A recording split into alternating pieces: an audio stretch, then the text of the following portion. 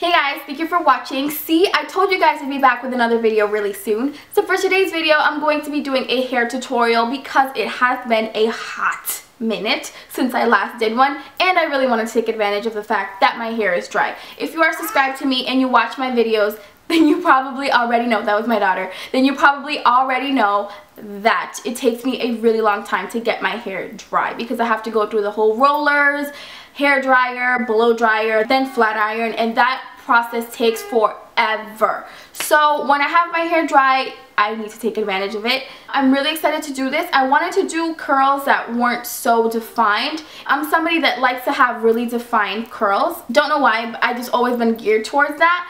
So I wanted to switch things up and not doing them so tight and so defined. And I really like how it turns out. I think it makes your hair look a lot more voluminous and like it has this natural wave to it, which it so doesn't. But we are going to fake it till we make it. This hairstyle, in my opinion, is perfect for everyone. If you are the working woman, going to school every day, you know, you need to attend a formal event. I think this hairstyle is going to look so perfect and it's not going to look over the top for absolutely anyone. Yet it's still really, really pretty that if you needed to wear it to a formal event, it's gonna look totally fine. Um, and I also think it's really, really perfect for any kind of um, hair length. See, my hair, disrespect. See, my hair um, is actually not very long, for those of you who do have really, really long hair, it's still going to look really pretty on you. And if your hair is shorter than mine, it's still going to look good on you too. Um, so I think this hairstyle works for everyone. In my opinion, obviously, I'm going to stop my talking because I feel like this intro is already really long. So with that being said, I hope you guys enjoyed this video. Thank you so much for watching. Please leave me some feedback so I know what you guys think of my videos. And other than that, I'll see you guys next time. Bye. I already parted my hair, but obviously you can put whatever part um, in your hair that you want to.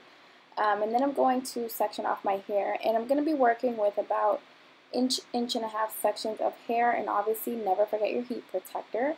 So yeah, there's about an inch to an inch and a half of hair there. And then I'm going to take the NuMe 32 millimeter wand and I'm going to start curling my hair away from my face.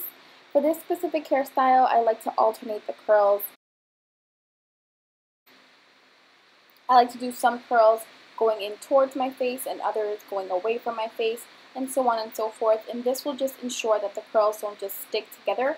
If you were to just do them all curling away from your face then it's just at the very end going to turn into just like one big curl of hair. So it's good to alternate, that way they don't stick together and just become a uniform curl, if that makes any sense to you guys.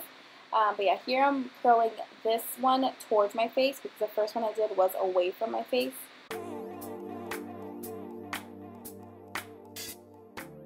And then we're going to be left with a nice defined like fatter curl, um, which they do look really defined at the moment, but they are going to end up falling, which is going to give you a nice little wave at the end. Be very, very, very careful if you're using a curling wand. I am not normally accustomed to using these fatter barrels. I normally use the much thinner barrels, so the medium-sized ones, never the big ones. And I kept burning myself. I swear to God, guys, if I had a dollar for every time I burned myself, I, I would have had at least like 20 bucks because it was like a, it was bad. I even burned myself in the face. Like this curling iron and I are not friends. I mean, I'm still to use it, but we ain't we ain't cool like that. I'm just going to be repeating the same process, so I'm just to fast forward. But it's going to go away from my face, and then the next one towards my face, away from my face, towards my face, and just make sure that the outer pieces of your hair are being framed away.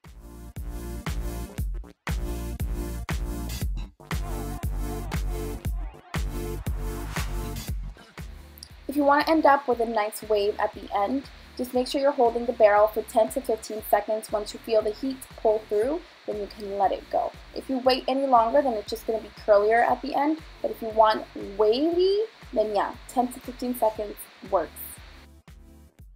I will be spraying the sections of hair in between. I'm just using some of the Tresemme um, hairspray and I mean, I really like this hairspray. It's nice and cheap, and I think it does the job. It's worked for me really well. I've used it for a very long time, and it's never done me wrong. It doesn't make my hair crunchy either. And yeah, just repeating the same process. Once you feel the heat pull through, you let the curl go, and you end up with these curls.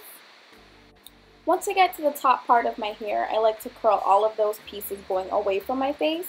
just so they frame it very nicely and flattering and they're not all up in my face. However, when I get to the very front, the top part that is like the one that's most visible, I like to curl that one going in towards my face like this. Kind of like if I was curling bangs.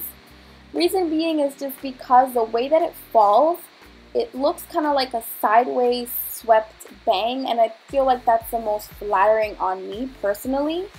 Um, so yeah, I just, if you see it falls kind of like going forward, but then when I push it backwards, it has like a sideways swept looking effect.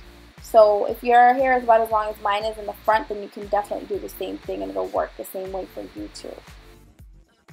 And for the last step, which is completely optional, I just like to shake my hair. I like to ruffle it, ruffle it up so it doesn't look so neat and prim perfect because I don't like my hair looking like that. I like to give it some more volume. If you um, need to give your hair a little tease, this is the time to do it. I don't really tease my hair too often, so I skip that step because my hair already is naturally puffy in the roots, so I don't need to do that step. But if you need to, girl, go ahead. And then I just like to finger comb just because I feel like that's the most effective way to achieve this kind of like wave instead of brushing it through with a real brush. And other than that, that pretty much completes this hair tutorial. I'm going to give it a last little spray. And that pretty much completes this look. I hope you guys enjoyed. Thank you for watching, and I'll see you in my next video. Bye!